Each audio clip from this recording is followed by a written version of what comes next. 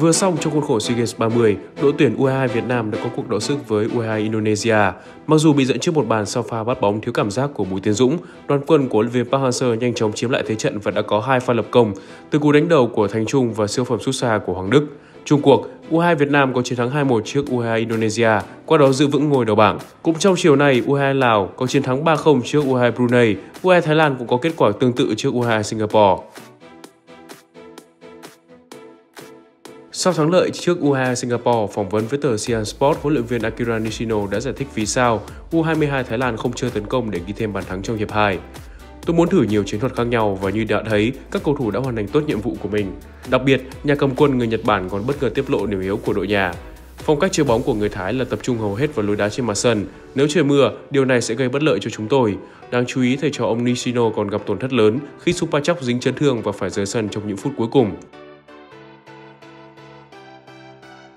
Trước tình hình chấn thương của Emerick Laporte và màn trình diễn tệ hại của hàng phòng ngự, ba lãnh đạo Man City đang lên kế hoạch chiêu mộ trung vệ Carla Soyuncu của Leicester khi viễn cảnh Liverpool cướp ngôi vô địch của hãng Anh đang ngày một gần. Tuy nhiên, người đại diện của Soyuncu, ông Mustafa Dogru khẳng định Leicester sẽ không muốn đánh mất trụ cột của mình ít nhất là đến cuối mùa giải. Sau những màn trình diễn tại Premier League, việc tin tức chuyển nhượng xuất hiện là điều khá tự nhiên. Giờ đây, Carla chỉ tập trung vào sự thành công của đội bóng. Cầu thủ người Thổ Nhĩ Kỳ này đang cho thấy mình là sự thay thế hoàn hảo cho vị trí của Harry Maguire tại sân King Power. Anh từng được WhoScore chấm điểm 7,08 sau 6 trận tại Premier League. Anh có tỷ lệ truyền chính xác 85,4%, thực hiện 4,2 pha không chiến thành công mỗi trận.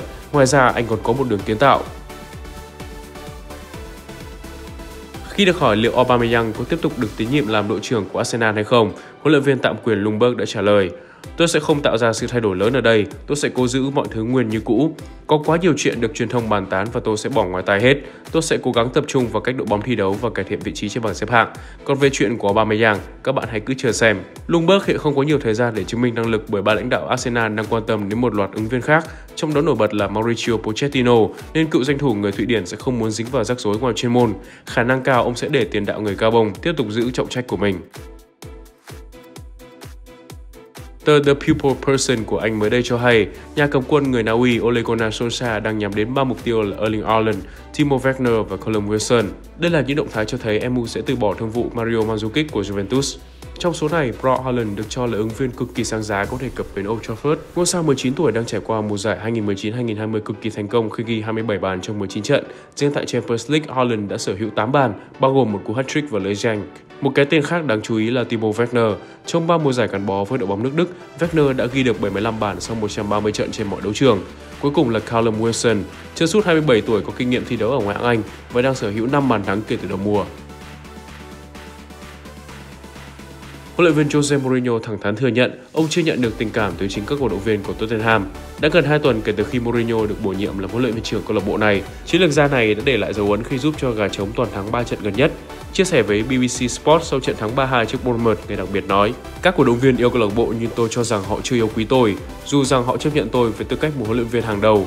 Tuy vậy, tôi nghĩ mọi người sẽ có nhiều lý do để yêu quý tôi hơn nếu họ thích công việc mà tôi đang làm." Điều quan trọng là các cổ động viên luôn ở bên đội bóng và nhìn thấy chúng tôi nỗ lực để cải thiện vị trí trên bảng xếp hạng. Kể từ khi tiếp quả Tottenham, đội bóng Bắc London đã nhảy vọt từ vị trí thứ 14 lên vị trí thứ 5 trên bảng xếp hạng Premier League. Bên cạnh đó, Mourinho cũng hồi sinh ngôi sao Dele Alli, người ghi tới 3 bàn chỉ sau hai lần ra sân gần nhất.